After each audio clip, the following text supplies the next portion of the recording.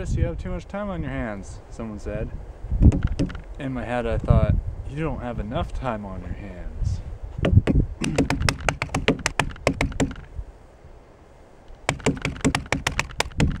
I mean, everyone's got a limited amount of time. The smart people spend their time doing something they like doing. What do I like doing? It's hard to say. I think whatever I like doing, I do so much that it becomes unlikable. The other day I was thinking, why did we evolve to sleep at night when the sun goes down? Living a lifestyle where I kind of do one thing cruise the internet, develop software, play video games. It's all on the computer. That doesn't take a lot of energy, physical energy anyway. And so I kind of find myself having longer days. And then I get out of sync with the rest of the world. One night stay up till 10, then the next night stay up till 2, and then the next night stay up till 4, and it just keeps progressing like that because I have long days. Thinking, why do people have these complex schedules where they do a bunch of different things during the day? Experiencing both busy schedule and not busy schedule, having those two perspectives makes me think those busy schedules make days seem longer. The non busy schedule, when I'm constantly doing something I like doing to an unhealthy level because there's no balance. But those days seem very short at the end of the day when it's like, oh, I'm exhausted and I need to sleep now. Those days seem short. Like the passage of time, everything went by so fast because, you know, time flies when you're having fun. It just goes by quickly. It feels like it anyway, even though it's actually a longer day. When you go to a buffet, there's all these choices of food do you eat just one thing over and over?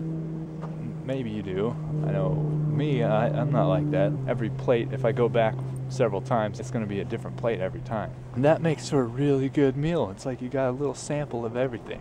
I think it's the same way for lifestyles. There's my dog. It's good to have variety. Now that I've tried no variety, I know it's not fun. Gotta get that variety back. I'm looking for a job, not something technical. Um, there's this guy, Chris the Carpenter, Rocket Brand Studios. He has a YouTube channel. Laser cut parts, parts for robots and microcontrollers. He recently gave up doing that. He had a little online store and he said he was very busy doing that, but he missed his hobby, which was doing that sort of thing. It became a job. Phil from Adafruit says, if you make your hobby a job, your hobby will be a job. That's kind of what's happening to me. It's like web development could be a job, but I don't take it seriously. I don't learn the right way to do things. I just learn to do things. If it's all I do, then it, it's hard for it to be a hobby anymore. And that's what I want it to be. I wanted to escape from my job, and I have that now. And now I'm free to do whatever I want. I can do anything. And that's exciting and uh, scary at the same time. I'm going to find a non technical job, something like food service or dishwashing, cleaning, something that's kind of active that I could be around people and you know get back to being able to talk to people in person. If that's part time, that'd be great because then I could still have my hobby of web development. So that's where I'm at right now. I'm just trying to stay positive.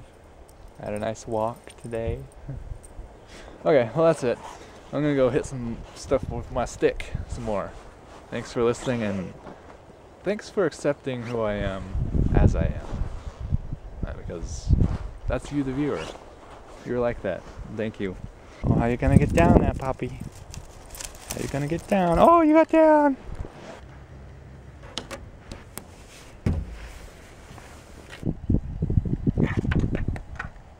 Ooh, I like this one because the adhesive is also a sticker. Taking them on. Two at a time. Her lips, her hips, and her big behind. She's dangerous on the dance floor.